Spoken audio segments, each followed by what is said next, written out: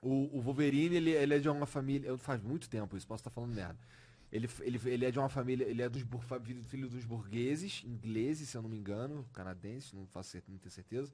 E o- Canadense, eu lembro. E o, e o Dente de Sabre tem alguma coisa. É, é, ele é tipo um criado, filho de uns criados dele, é uma coisa assim, tá ligado? É uma relação de.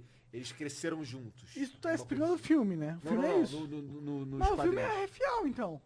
Porque ele mostra isso. Não, no filme eles são irmãos, não é? Não, no filme eles são canadenses, pô.